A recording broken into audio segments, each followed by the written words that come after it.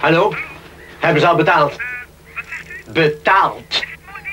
Ja, natuurlijk is het hier mooi weer. Maar ik vraag of ze al betaald hebben. Ik dacht van niet. Maar kijk dan eens goed. De NCM verzekert tegen afnemers die niet kunnen betalen. Bel uw assurantieadviseur voor een Oh. rustige vakantie. Maar, maar je denkt toch wel dat ze zullen betalen? Ik denk van wel, maar anders verkoopt u toch gewoon uw woning. Wat? U verkoopt toch gewoon uw woning. Dan verkoop ik toch gewoon een... Wat? Dat had je nog niet moeten zeggen. Dat je dat niet had moeten zeggen!